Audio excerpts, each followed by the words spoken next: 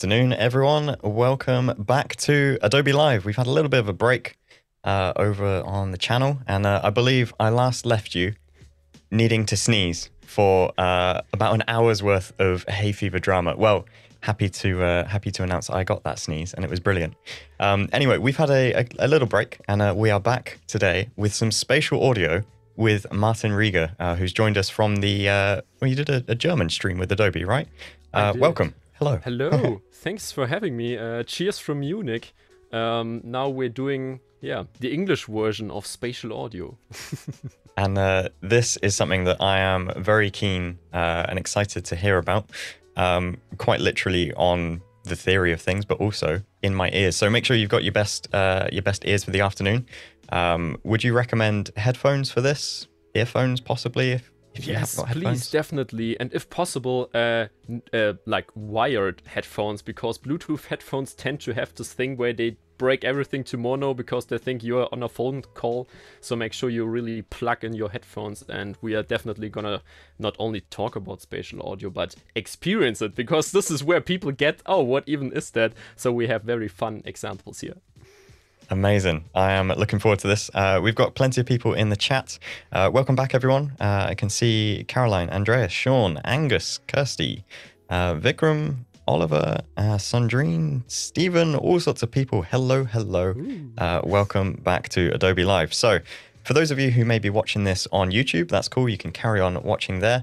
But if you'd like to join in with the chat, come and join us on behance.net uh, sign in and uh, join in with the chat. It's uh, always good to see new people, uh, get some questions going, and uh, we may ask some questions back to you and, and see how you're feeling with the stream and what's going on, and we can sort of direct where we'd like things to go. Um, so, yeah, make sure you join us on behance.net for the uh, live chat. Right. Martin, what have we got to uh, to see and hear today?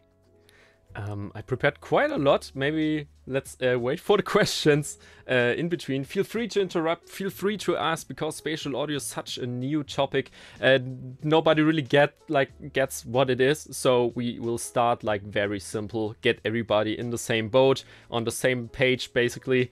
And like what's the technology behind? What can we expect from the future? And then I have like some listening examples with bizarre looking microphones. And then we will jump into Premiere and see how you can literally work with 3D audio inside of Premiere. So uh, you can look forward to that. All right. Wow. So... Should we uh, should we maybe explain a little bit on spatial audio because I feel like I've got a, a kind of a, an understanding of it. I've experienced things like Dolby Atmos with headphones and other things, but for those who are unaware, just a, a, a quick rundown of what is spatial audio. I can do that with a slide I prepared. if, you, if, you, if you don't Jumping mind. ahead. okay, maybe let's let's uh, just jump right into it if you don't mind. And I have uh, yeah, we, we, we, can do it in any order you want because 3D audio, what even is that? Fun fact in Germany, it's called 3D audio according to Apple, and in, in, in the UK, it's called spatial audio, but it's the same thing. So you can guess there are many words to describe the experience of having three dimensional sound. And we humans are used to have um, like 3D sound all the time. This is what we know. If we don't have headphones, we know how it sounds like when a car passes by, when there's somebody knocking at the door behind you. We know that. But since a, a, few years ago, it wasn't really possible to transform this onto headphones, or you would have to have a dozens of loudspeakers inside of your room, and uh, mm. you hmm. can guess not everybody has that. Uh, so right now, um, we have this this immersive audio buzzword going on. But to keep it simple, it really makes uh, it, it tells that it's now possible to have 3D audio on headphones. And it's, it i would say it changes everything. If it does uh, you will find out in this in this presentation. Um, so uh, this this is just like a brief introduction and then you immediately jump uh, you hear words like dolby atmos which is just a tiny bit of the whole 3d audio world. This is you know it probably from the cinema where you literally have uh, loudspeakers everywhere in the front in the back now at the top. And to give you the feeling of sitting inside of the of the movie and to be more immersive there we have the word again. And it works But this is just a tiny bit of what you can do with spatial audio, and what we can do is what you're gonna find out. I hope this quickly answers your question. yeah, I mean to uh, to explore that a little bit further. So, for example, I've got a, a surround sound system um, mm. for all of my like entertainment, TV, whatever. Um, so it's a 5.1 system. When it comes to spatial audio, is that going beyond that, or is it creating to optimize for those 5.1 speakers? Ooh, where do we start? Um, as you can guess, with 5.1, you'd need at least six loudspeakers. And with 3D audio adding like a height layer that you have sound from the top, you need additional loudspeakers. And this is where it gets kind of inconvenient. And now we do it a bit the other way around and have having trying to put everything into one system. And this is what soundbars do. They create like virtual loudspeakers inside of your room and then make use of the full room. So you then just don't have like individual loudspeakers, but the feeling of the spherical sound. And this is where, as you can guess, is it's yeah, it's better since you you're yeah making use of more than just a few speakers. Um, but for 3D audio, I'm more hooked on the headphone part. And since everybody has headphones at home, you can mm-hmm. now experience this feeling of three-dimensional sound uh, at home. And there are many mm. ways to do that. And then we also have stuff like head tracking, where the sound even moves with your with your uh, physical uh, head rotation. And this is where it gets super interesting. Yeah, so it definitely becomes so much more accessible, I guess. Um, do we have to have specific types of headphones?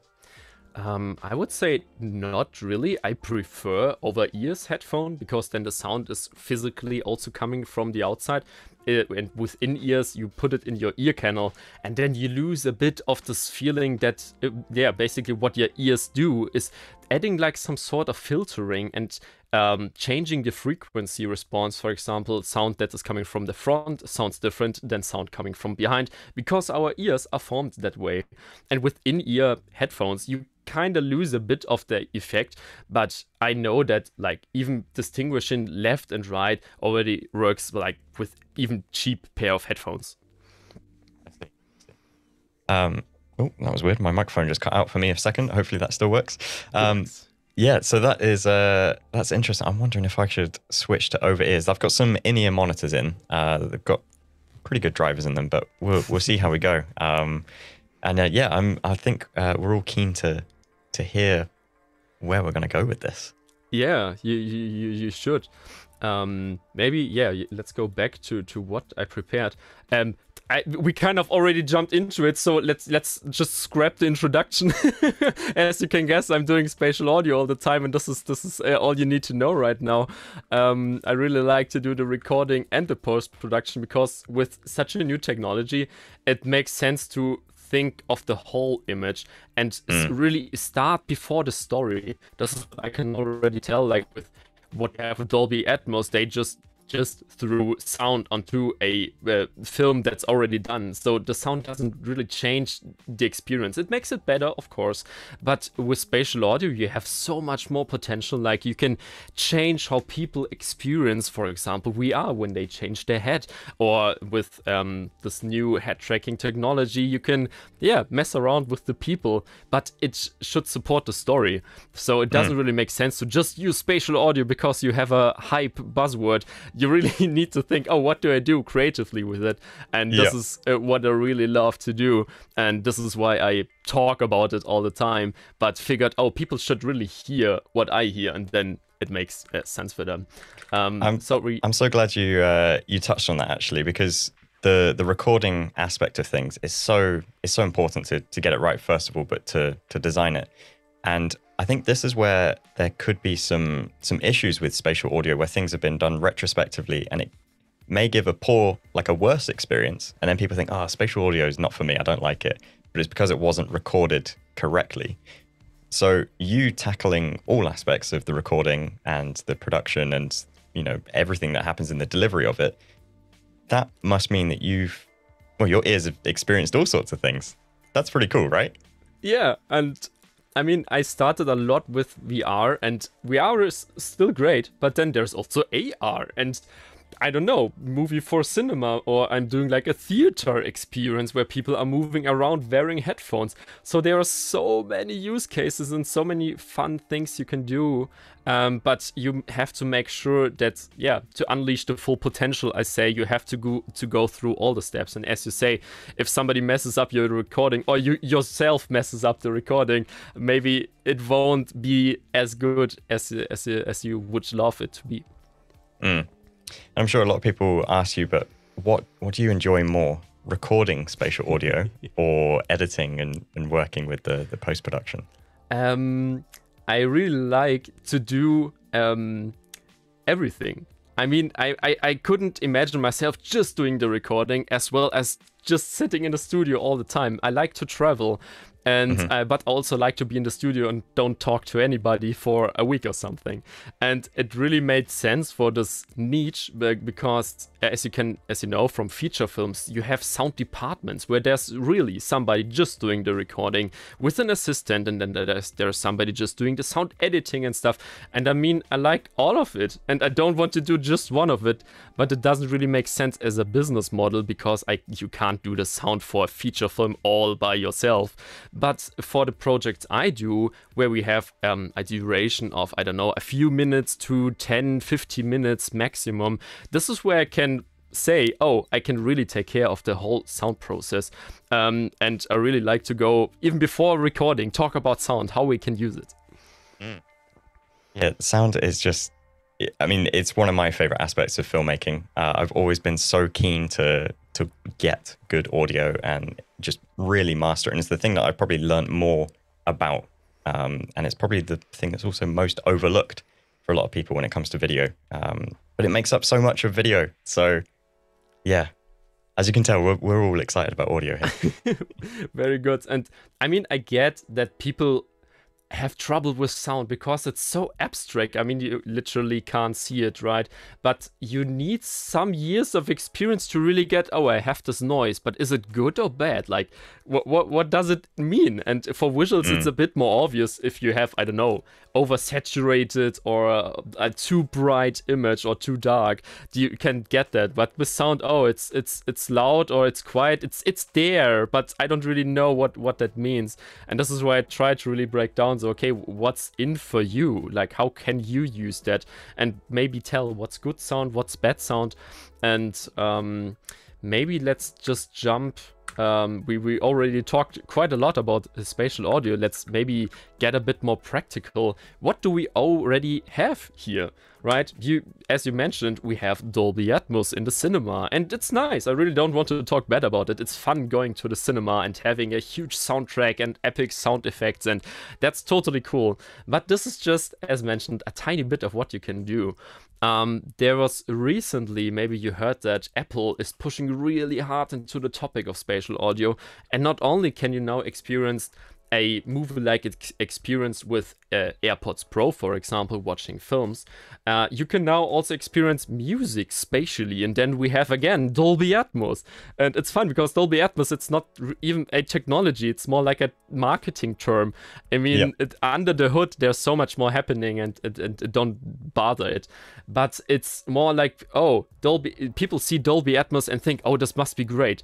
And for music, I'm a bit skeptical because what they did is remix a thousand songs from the stereo stems and like they had all the recordings and um, mixed them in Dolby Atmos and create like a three-dimensional experience where you have sound from all directions. And I did like a listening test and I feel like most of the songs sound worse than the stereo and this is certainly not what we want, but still there's this marketing. Oh, experience music like never before, but that's not how it works. so that, it that really... must be uh, must be really frustrating for someone in your position where because I've I felt the same, and even the playlists that they're they're promoting to push um, spatial audio, they don't necessarily sound the best. And I know there is good examples out there, but the ones that are being chosen to promote, it surely that puts you in a difficult position because you know what you're doing with this, and then you see poor examples being pushed by giants such as Apple, yeah. and that's that's tricky because then you're just having an uphill battle, right? It, it is, and I mean, you have major labels, major artists who approved the mix. So it's not like like somebody did the job. It was like the huge studios who do the stereo. But to make it short, how can they be experienced with 3D audio when it's just out there for a few years. And mm. it will be better in the future. And you are right, there are good examples of 3D audio. But right now, it's a wild field. And I see music as maybe the you have the, the most possibilities to mess around with guitars flying around your head but it's it's the wildest field since you don't know oh but does it make sense? Like does it sound better or is stereo just fine? And i would say with music stereo is not broken. I mean it, it it's cool. It, it, it works mm. and we're used to experience uh, music in stereo. But hey let's see what happens in the future. And there are good examples and those good examples are better than a stereo. And this is where it gets mm. interesting but we are not quite there yet yeah, yeah. I hear you. I hear you. but they there has already been like a, a, really big music hype and maybe you've heard about 8d audio and uh, just look it up on youtube and uh, the sound engineers got crazy they were like like why would you do that because somebody had the idea to run music through a spatializer and run it around your head and since the technology is so advanced, people really had the feeling of 3D audio because it sounded like there was like literally music circling in your living room. And you forgot you were wearing headphones, which is called mm. externalization. And this is the 3D audio I'm always talking about. You you forget you're wearing headphones because music is have uh, is happening inside of your head, but we are used to experiencing audio outside of your head because we don't really have music in our head, right? It's yeah. all coming from from from uh, from outside, and this is what 8D did good in a way because it showed that like 100 millions of people really want to experience 3D audio, but circling music around the head is certainly not the way. So we are somewhere in between the Dolby Atmos. Uh, pushing the topic hard and trying to doing it right and then there's 8D like doing it very weird but uh, reaching more people and the sweet spot I would say somewhere in between to see oh why does 8D work and why is it exciting for people and then how can we do our classical workflows where we have like a punchy, nice soundtrack and not just like a weird externalization yeah. around our head. So this is where we are at the moment with music, I guess. mm. Yeah, it's uh, it's all it's all very interesting and, and moving fast. And there's actually um, a message here in the chat saying, "Wouldn't be the first time I come across companies." asking for a decade of experience in a system that's only a couple of years old. And, you know, yeah. that's so true. Story uh, of our life. yeah, things do move sometimes a little too fast. Um, but you know, we wouldn't get to those uh, later areas if we didn't have people like yourself explaining it from the from the bare bones, from the roots of it, um, and going through the the details in greater depth. Yeah, and this is why I really try to do as many projects that are as diverse as possible. I'm doing like something in the automotive industry, then I'm doing like artsy, creative theater experiences to be, to really understand like how can sound be there used in a good way and with 3d uh, audio it's it's like another layer of uh, difficulty um, but the example of 8d audio really was good for me. I mean, our audio engineer hated it because it, it was, oh, you can't do that. Uh, which is sort of true, but in the end, it just showed that people are ready now for 3D audio, and like this mm. was good for me. So I'm not even mad of uh, Apple maybe being too early with the music thing, but what I already mentioned that you can watch um, with spatial audio um, uh, a movie with, for example, um, Disney Plus, and it works very good. Like I was surprised how well it works. You really had the feeling of sitting in a cinema, and you moved mm. your head, and the sound was uh, uh, like the, the the voice was always coming from your phone, and you moved your head, and it's like literally like the cinema, and this is where it makes fun. So yeah. Long story short, it depends on the content, how you can use spatial audio, and where it even does make sense. Mm. Yeah, I, I need to uh, I need to give that a go. Uh, okay, I think there is a there's a lot of chat about headphones and uh, people plugged in, people ready. Um, let's uh, yeah, hopefully hear some stuff. Very good. Yeah, maybe let's just make it short. There's like AR gaming. That's that's a thing, you know. There's so many ways. Not only films. Just just try to think outside the box, and I'm sure you will find a very cool use case. Um, for Sound of the Future, just to make it short, it, it will be big. Otherwise, I wouldn't be doing that. And Yeah. the reason is fairly simple. As I mentioned, we're used to experience sound sound in a three-dimensional way, and stereo is just like a how do you say a, a- phase in between. Like it will all be three-dimensional in the future, and now we are finally at the step where this is technically possible it there are still like some barriers and um, like like formats or how do you record that and how do you get it to the people but this is literally happening right now so um, stay tuned for the future. It will be pretty nice. Um, so let's get more uh, into into the basic um Sveik, oh this is supposed to say loudspeakers. You have the 3d audio playback on loudspeakers but also on headphones. And as mentioned loudspeakers are cool but you usually don't have as many loudspeakers. So let's experience 3d audio on headphones. And people are always freaking out. So how can you experience 3d audio? You would think oh with 5.1 you need like six channels and with 3d you need more channels. But forget about all those channel and making it complicated because we literally only have two ears. So if you do the math right you can end up creating sound that works only on headphones. And this is what we are going to do right now. So um i am supposed to change to my oops to my video player. And if you don't have any questions i will just fire uh, a video i did uh, which has 3d audio. And um, yeah. Last Yeah, time I accidentally played it on mono. But i'm thinking of doing that again so that you know like how does normal sound like and how does uh, stereo sound like. Maybe for the, the first 10 seconds i do this on on purpose but it will make sense for you because this mm-hmm. is how normal films sound like Okay. I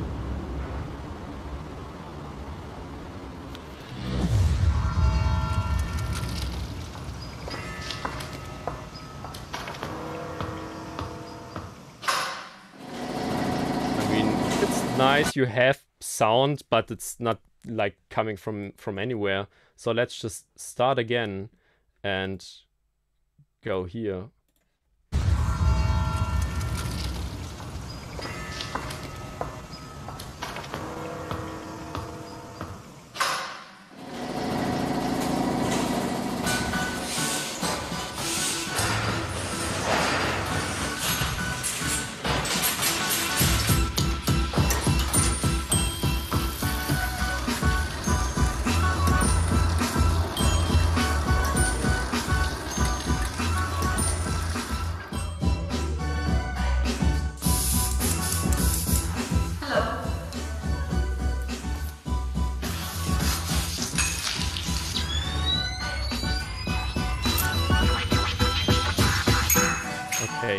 Feel like you get used to the feeling of having it three dimensional, like very quick. So let's maybe jump into this one scene where you have um, here a sound coming from the right, for example. You, I, I hope it worked for you, right? Prove me wrong. I I think But- I think it did. It. I mean, it's uh, it's one of those things where because it is so natural to what we normally hear. Sometimes you have to remind yourself that it's not normally like that when you film things. So I think showing the the mono originally was definitely a, a good example because it just reminds you that oh yeah, things do have a flat plane when you film. Uh, Otherwise, so yeah, maybe you uh, you do feel the the room kind of coming around you a little bit. Yeah, maybe just once more time, uh, one more time. Um, like the scene, as said, you're in the in the in the floor, and then there's music music coming from the right. You turn your head, and then you have the music uh, Mm. around you. Now this is mono, so this is like the normal. And if we switch it back, this is how it's supposed to sound.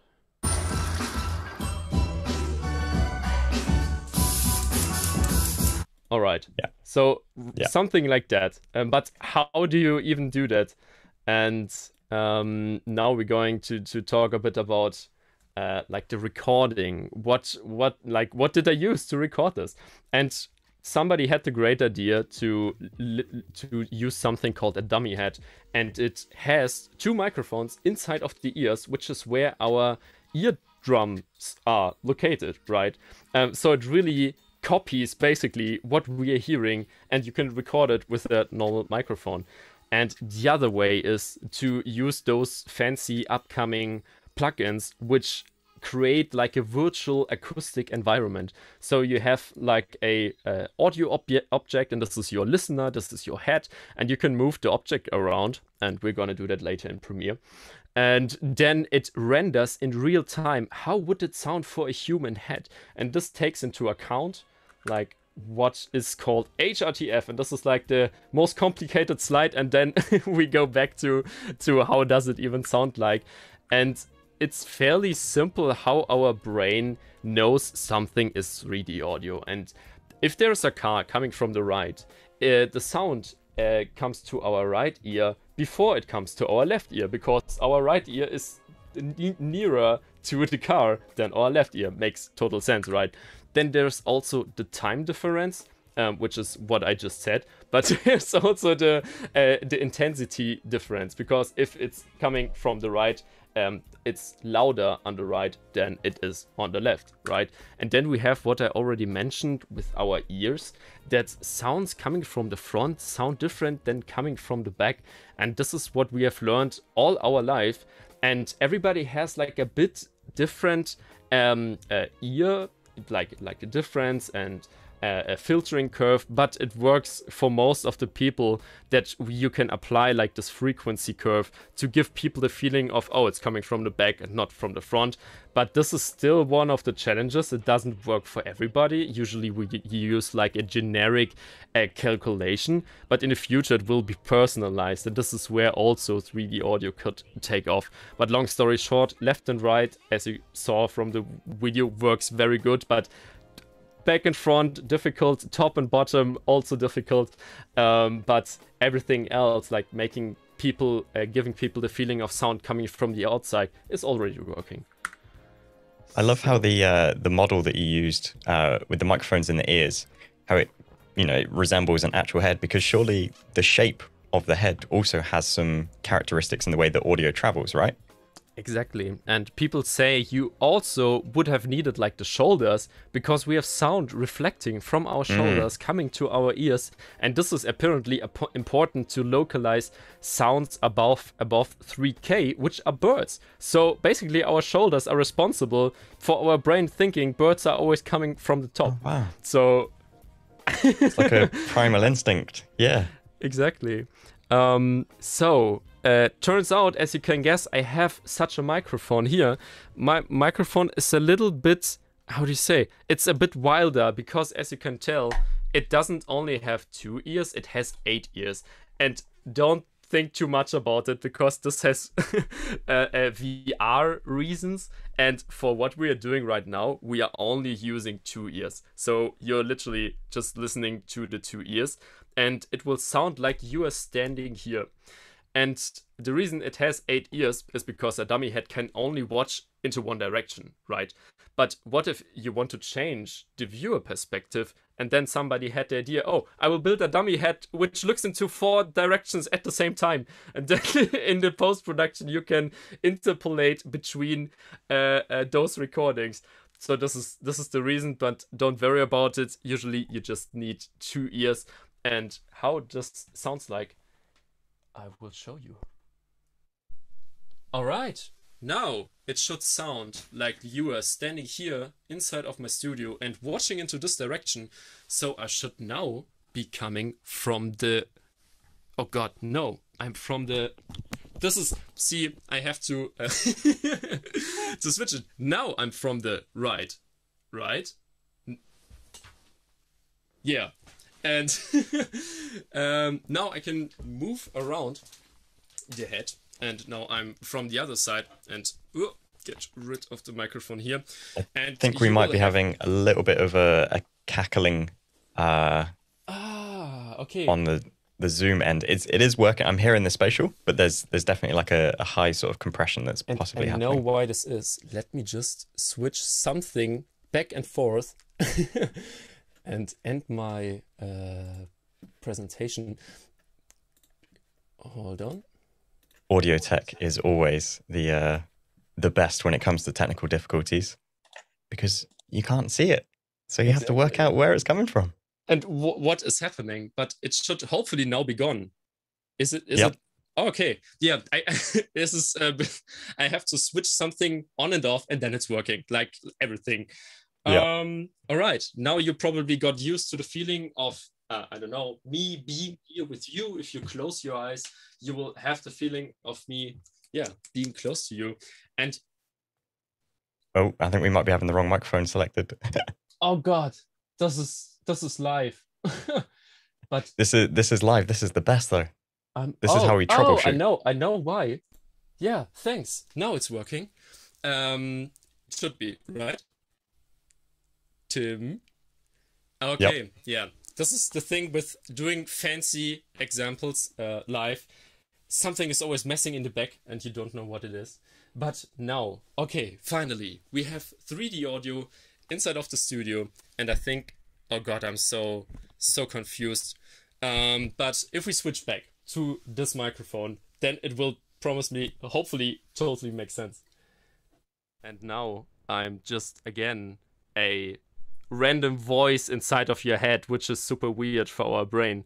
And if I, sw- I think I really had it the, the wrong way. This is, oh, there we have it. So I guess the the best way to sort of describe what we're experiencing here is when you switch to your um, is that a condenser mic or is it a dynamic one that you had previously? This one? Yeah, Yeah, this is uh, the the one I was using all the time. yeah. Anyway, when you're using that one, what we're experiencing is just voice. Like it's it's just voice everywhere. Whereas when you go to the other one, it, it has a bit more distance to it, and there's a bit more sort of room. uh, Exactly. and I mean, I can also like g- go away from this microphone, but I will still be a voice inside your head. It does it doesn't give you any feeling of distance or even presence. And now since we figured it out, I can now switch back and now it should uh uh, you should have the feeling of uh, watching into this direction, and now we can finally do the fun things. Oh God, this is um, why, why why I like this so much. Um, and this is what I got uh, like from from a holiday in the UK. I don't know, like maybe 15 years ago, and now I have um, the perfect use case for it. I'm not sure if you know what it is, but it sounds like, ah, come on, do your thing. Ah, there we have it. And if we switch back to the other microphone, it sounds way less exciting.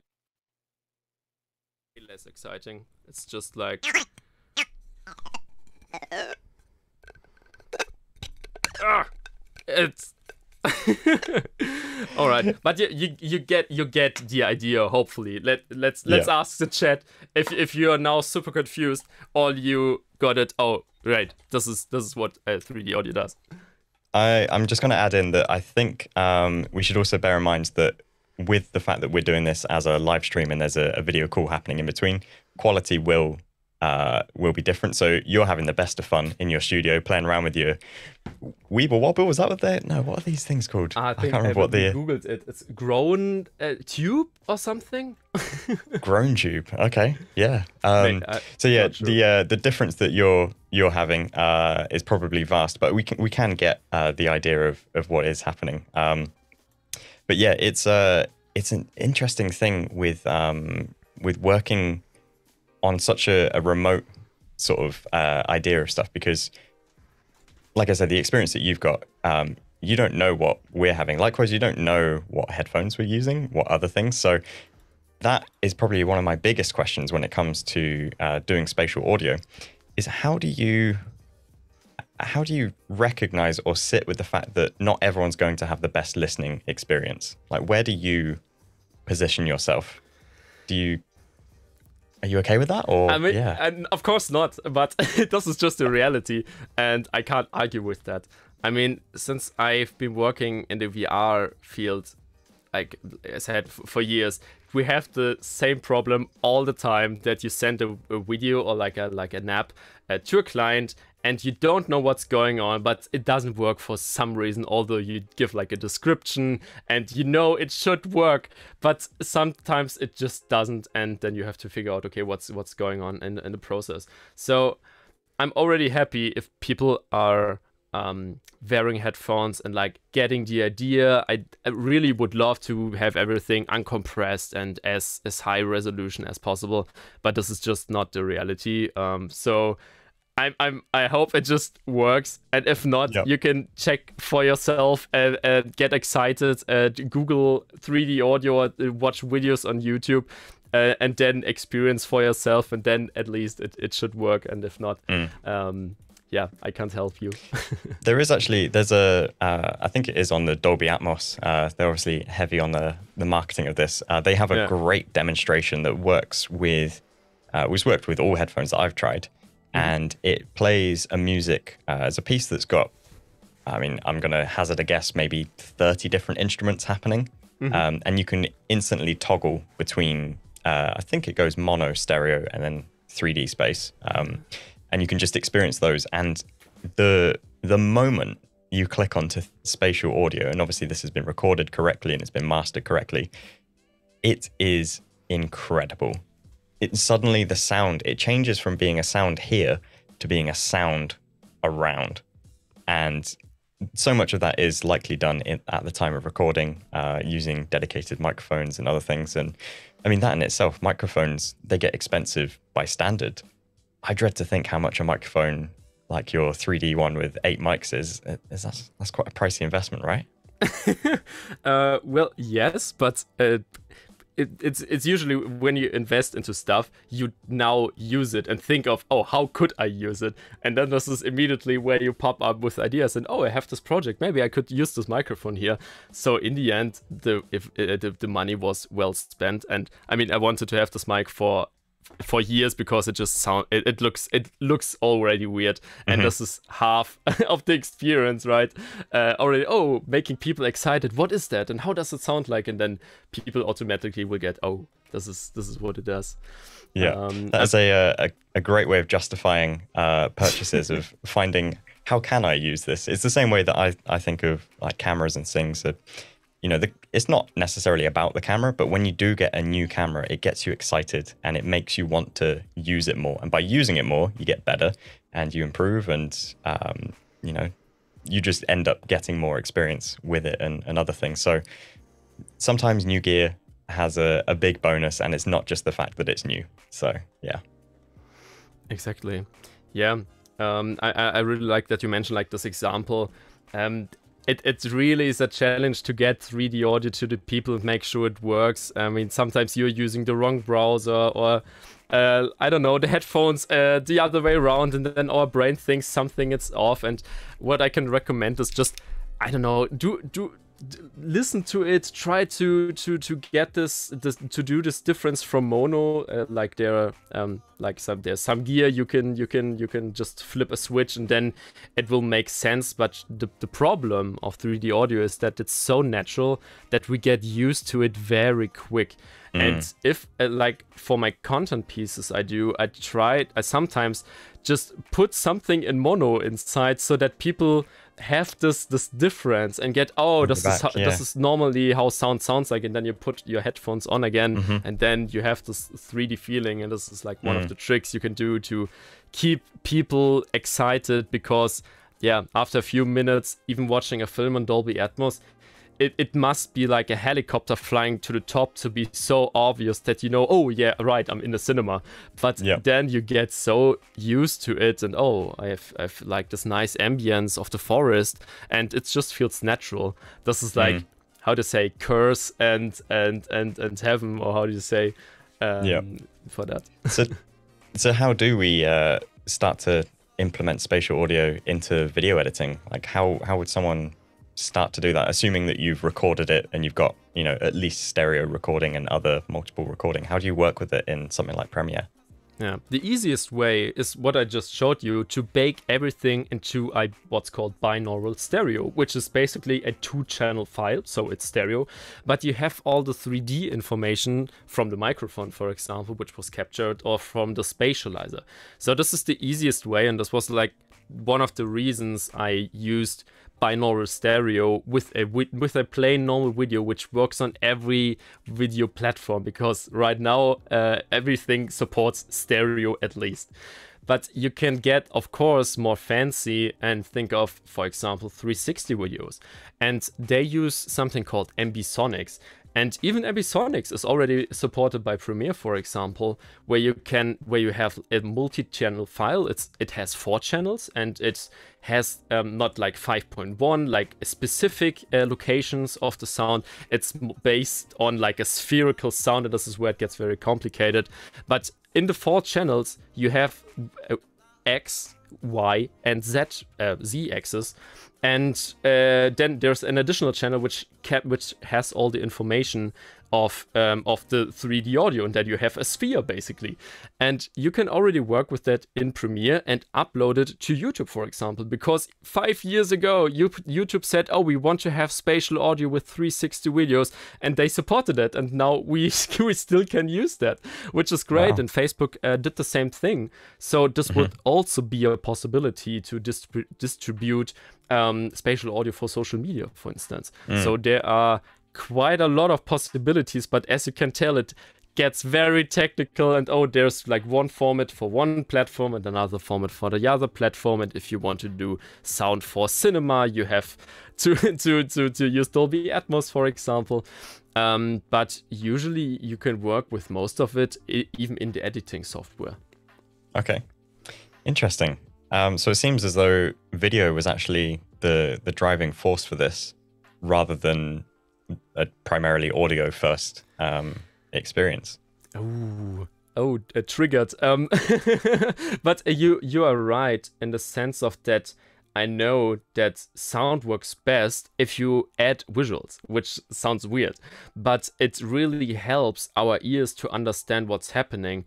And this is, for example, in the video you saw, I'm using um, rotations like crazy, which you wouldn't normally do. But since it's all in the first person, um, it really helps the people to understand. Oh, there's like this printer uh, on the right, and then you move the camera, and then it's it's on the left, for example. You help the ears to hear it, mm-hmm. which is just how our brain works because you, you have multiple layers of um, perceiving your surroundings and the most important probably is the visual and the audio aspect mm-hmm. uh, forget about smell and everything but in the end it it it it's it comes to your brain all the layers and it tries to to to check the layers and if the sound doesn't match the visuals or the visuals doesn't match the sound uh, you have a problem but mm. if the layers all work together per- perfectly fine they can support each other and this is where we have immersion again yeah yeah, it's uh, it's amazing how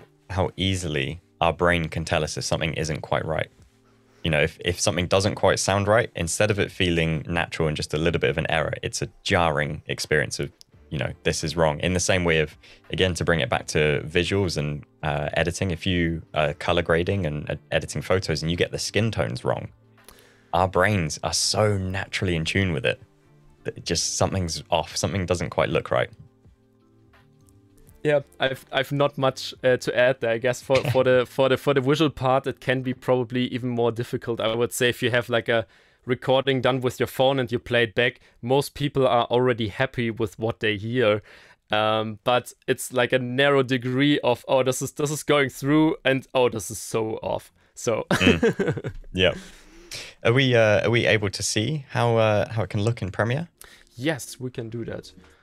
All right, let's double check all the checkboxes that uh, need to be um, used.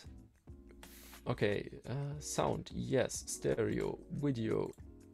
Okay, you are now seeing just my desktop, but now you have Premiere. And this is, uh, yeah, the project you just saw. Um, yeah, this is the end. I haven't, uh, I didn't show you yet. And yeah, this is Premiere basically. I guess you know it uh, even better than uh, than I do. And the, the main difference uh, between probably uh, your projects is that I only have like I don't know two video layers and then maybe so just like some some grading uh, going on. Uh, but then we have like 20 soundtracks or 15. Yeah. Uh, so welcome to my world. But since the project was like very sound heavy, as you know, it yeah, it it made sense to end up there somewhere. All right. So, um, many many clips. Yes, I have. Um, this is like the final mix. Um, as you know, you end up with the final mix somewhere, but then we still have the individual clips, and I can show you uh, how different uh, they sound like. And maybe let's just play back um, this little part, which is the final mix, so that you know what what what it sounded like in the in the in the final piece.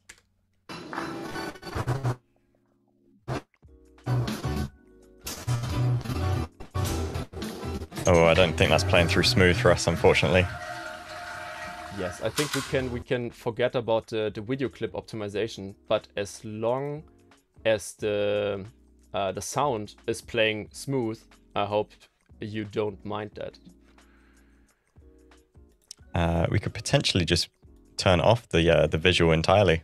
Yeah, we can do that, and this saves some memory space, go. which is great.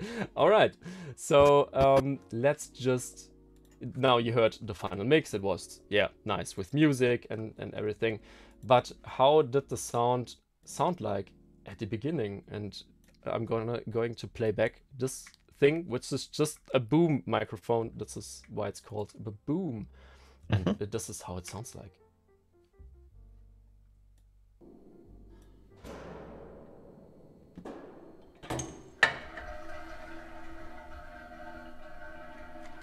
Well, yeah, uh, it, it, it, it is, it has sound, but it's not very exciting. And if I play yeah. back the dummy head, this is how, this is how it sounds like.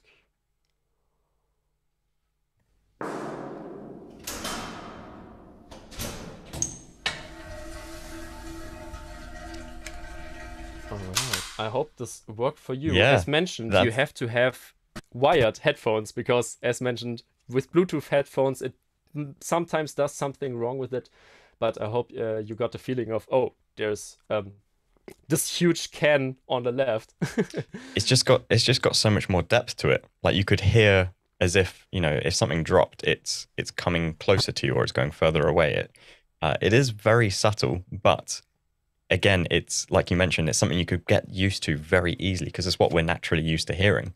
Um, but as soon as you switch back to the original, you would realize like, oh, that actually just sounds very flat. And as much as you can get a good quality recording, having that extra depth just opens up so much more possibility. Yeah, exactly. Um, now we already uh, we have this weird uh, orange looking track, which is uh, you can guess it. It's a metronome, and since the whole the whole um, visual was cut to a beat, and all the sounds should make sense uh, with that beat, um, I just got a, a, a metronome and uh, decided for a tempo that was sort of uplifting, um, but not too exciting, so that I don't have to make as many edits. And if that's interesting, interesting I've never you. seen a technique of uh, dropping in a metronome audio clip, but it makes perfect sense. Yeah, and I didn't really listen to it. I mean, this is how it sounds like. Right, it's a metronome, but I basically used it just for the for the waveform, so that I know oh mm-hmm. where to edit. And as you can see, um, yeah, it's sort of matches. Here we have like the perfect match. This is on the one, so we always have one, two, uh, one, two, three, four, and the one is always like this huge uh, peak, and then you have this minor peak, which is the three, which is the snare, and then in in between we have like um, this hi hat, so I know oh this is two and four, and this is yeah I'm I'm like a very structured person, and I like to um uh, uh, yeah to also yeah have the visuals supporting it, and if you I can play back um, everything with the metronome. This is how it sounds like. Sounds a bit odd. It sounds like music from a video game. Yeah. It's like a Crash Bandicoot level. so uh, this is yeah. I wouldn't have left it that way, so this is why I, add, uh, I added the the music, which is this. Yeah. And then it all starts to make sense. I mean, you, you, it, it's fun to have like this cling clong sounds going on all the time, uh, but this is what this is not what the people expect. They expect like some music to have it driven emotionally, and this is where I know okay, there has mm-hmm. to be music at some point in the video. So for your question, how can we use uh, spatial audio inside of Premiere, I prepared one of the tracks. Let me check which is it. I think it's this one. Uh... There's a there's mentions here in the chat of uh, interesting workflow and uh, definitely must be useful uh, having the click track. It's um it's opposite to how a lot of video editors would work. Um, obviously, you're focusing on the audio, so first and foremost, audio is your your primary uh, sort of focus on things. Mm-hmm. But to to work to a metronome and then find some music to add to it is quite an interesting workflow. For me, I would have probably found some music, um, had you know a rough idea of the narrative, and then pieced some of the the audio in between uh, to you know sound with the music and also where the music has space that's where you can have the sound effects working and other things um, mm. but this just seems far more rhythmic and yeah it it works i love it thanks yeah uh, it's luckily i did that was not the first time i did it so i knew like what to focus on and since this is like a sound ba- a sound first video this is yeah why i approached it that way mm. um, the only problem with it as you can guess as soon as you want to change like the tempo or the client says, "Oh, I don't like the music. Can you put something quicker?" Everything falls apart mm. because as soon as you change like one thing, all everything that's behind it just yeah is is, yep. is for the trash can. So this is like maybe one of the of the of the cons. yeah.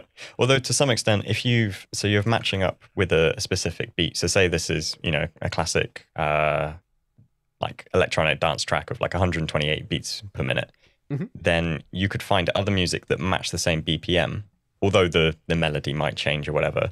The fact that you've done your audio to a click rather than to the melody probably gives you a little bit more flexibility. But if they say, oh, can we change this to classical 96 BPM or something else, then you think, ah, now it's all gone wrong. yeah, exactly. And this is why I like to use a metronome because, as you say, you can throw like most of the genres onto it and this is what i did for the project um, to get like five uh, tunes from I don't know Audio Jungle or your favorite music licensing platform, and uh, had like five examples uh, which were all the same tempo, so I wouldn't have to to change anything. Um, of course, I adjusted a little bit, and I already I also got the stems, so like the individual instruments uh, from the, from the composer, which was great because sometimes I just needed the bass or like just the drums to to get like some drive into it, but sometimes the melody was a bit too much maybe or um, yeah, not not really matching to what's happening in the individuals. Um, mm. So yeah, I can recommend asking for individual instruments. and so, if we wanted to change the positioning of the audio, how does that look for Premiere? Uh, you mean like changing something from the left to the right, or what? yeah, mean? or where you had the the heads sort of space, where you could say, okay, this is a sound that comes from here. We're using this part of the microphone Oh yeah, I can show that. So let I think let me just play back. Yes, that's the right sound. So this is basically a uh, this huge can where they um, make liquor. And now I'm gonna use a third-party plugin, which is called DearVR Pro, and uh, let's see if it works. Because as you know, it's it's not very it's not made for for Premiere because it's an audio plugin. But with VST, you can use it, and there we have it. And this is uh, the familiar looking plugin that I just showed you. And what DearVR does is creating this virtual space um, that uh, here's our listener and here's our audio object. And now we can change the object coming from the right or coming from the left. And then so this is like a, a top-down view of someone's head. Exactly, and I yeah. just wanted there we can change it. There we have it from the side, mm-hmm. and there is uh, from the back, and this okay. is from the top. Yeah, so you you guessed it right. So it's as you can tell, it's like with working with 3D, it's always difficult to have like the right projection. It's the same when you model with 3D, like oh, how am I even looking at anything? Yeah, this is the same problem I have, but I like to have it uh, from the top uh, down. So um, yeah, because left and right is is the most important uh, thing. Now um, I can select like a virtual acoustic, and now we have a dozens of presets which work very nice. And I think since this was some sort of a uh, like like a bathroom type of uh, room, let me just add this. and put it to the right, and now it should be coming from the right. There we have it. And if I put it to the left, it should be coming from the left. Yeah, and if we crank up uh, the reflection or the reverb, uh, we can really position it where we want, maybe at some distance. Yeah, and then we could also go and automate um, it with keyframes, like coming from the right and then going to the left. Um, since this is just a one shot, it doesn't really make sense. But as you can tell, uh, it's it's it's then yeah being automated, and this And you is can pan what- around, yeah. yeah, this is what helped me so much to preview how would it sound like uh, with 3D with without jumping into my editing software. I could just do it uh, inside the video editing, which was very helpful. So yeah, this is how you So- can work. With Just 3D thinking, if you were, say, you were recording um, uh, like cars, for example, in in high end movies, a lot of the time the car isn't moving. It's in a studio, and they've maybe put it on um, like rolling floors, so the wheels are going, but the actual car isn't moving. You could record the car sound, but you're not going to get any of that natural panning. Um, and this, I guess, is how you could have that same quality. The microphone is always the same distance from the sound. It's always going to be the same quality. And then you can use keyframes to add in that spatial aspect and likewise change it. If the director says, oh, actually, we want the car going the other way, we can do that. Exactly. Yeah. Um, this is, I think, all I can show you uh, for now. So if you have any questions, um, feel free. Yeah, it's um, it's definitely very interesting. Uh, it's it just shows the power of um, the way that tech is moving forward and how we can like focus on certain things and then focus even more on the greater depth of those uh, specific things. Um, I'm definitely excited to to see how spatial audio grows. I think there's, as you mentioned, there is a lot of room for it to grow, and and maybe on on the music side of things, it's uh, happening a bit rapidly. Um, but for for cinema and and for filmmaking, uh, there's a lot that's already existed and and been there. Um, if you could recommend how someone may want to get involved with this and push it further for themselves, what would be your your best sort of beginner tip? Okay. Um, it really depends if you are a filmmaker or like doing 3D modeling or why VFX, for example. And uh, spoiler alarm, I- I have also like a dedicated blog where I write about stuff. And what I did is, since I'm focusing on the content, I did an, an overview how you can use 3D audio. And films is just like one little thing you can do with 3D audio, but you can also do radio dramas. You can use it for VR and everything I already mentioned so far.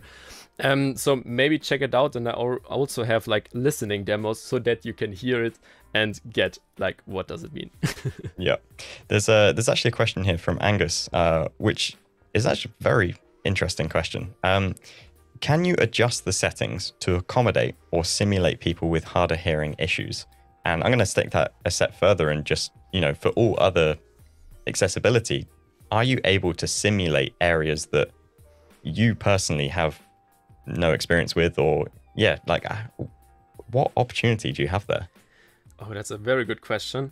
Um, I'm not sure if you know the word hearables. Probably, maybe. It's like the you know wearables, which is like a smartwatch, but now we have hearables, which are which is a term for this in-ear sort of earbuds we have. But hearables describes it a bit better because those are not just headphones. Whoops, um, those are smart headphones. And what they are doing right now is basically disrupting the whole hearing aid industry because those smart little headphones can do way more than any listening device. Because you can not only, yeah, listening to music, you can also adjust how the the environment sounds for you. And regarding 3D audio, um, it will all be called object based audio, which means that you have this individual 3D audio objects uh, implemented into the MPEG H, which is what it's called, or even like the Dolby Atmos. It doesn't render anything to loudspeakers. It renders, it gives this objects, just like I showed you, um, three-dimensional information, so that you know, oh, this is uh, this object is placed here, this object is placed here, and then it all gets rendered in real time for your ears. But as you know, everybody has different sort of ears, and this is where we can add the personalization. And in the personalization, you cannot only add like your favorite or anything. You can also add maybe make frequencies louder that you prefer, mm. or add like of course, obviously, bass uh, boost the bass, but you can get like very deep and add your listening curve if you have any hearing problems, and then try to, yeah, make them know more. Amazing. So you could EQ your friend's voice, and you know, change them, make them pitch perfect. For example, or imagine you are you are watching TV, and and grandma has uh, hearing aids. She would have a separate stream with with the MPEG-H and she could adjust for example even the music or uh, like the voiceover because you have mm. all audio objects you, that you can change. And then maybe for grandma or grandpa it's it, the music is always so loud right? So you can lower the volume for the music for her but for everybody else in the room it will still be the same uh, experience. So personalization will really be a thing in the future, and then we have also this very good side effect of inclusion. Yeah, that is that is incredible. That is just opening my ears to all sorts of ideas on things. Um, yeah, I mean the the future of tech and the the way that things are continually getting smaller and smaller and more personable, but also just so much more open for everyone. Um, that's just a brilliant thing. Uh, so thank you, thank you very much um, for joining us today, Martin, and uh, all of your details on spatial audio and your uh, blog is a whole wealth of information and other things. You uh, are really pushing uh, the voice and the excitement of 3D audio. Uh, so thank you for joining us today. Thanks for everyone who's joined in the chat. And if you have any closing words, then yeah, go ahead. Thank you. I, I, I don't really have, but um, yeah, thanks for having me. Uh, thanks for asking the questions. That it, it, it, questions. It really helps me to understand like what what is the problem you maybe have to understand. Like how can I explain it better in the next time? So I'm, as you mentioned, I'm really on a mission to making it more accessible and give my best. And feel free to drop me a mail if you have any questions. Uh, thanks for having me, and yeah, I'm looking forward to the future. I hope you Excellent. are too.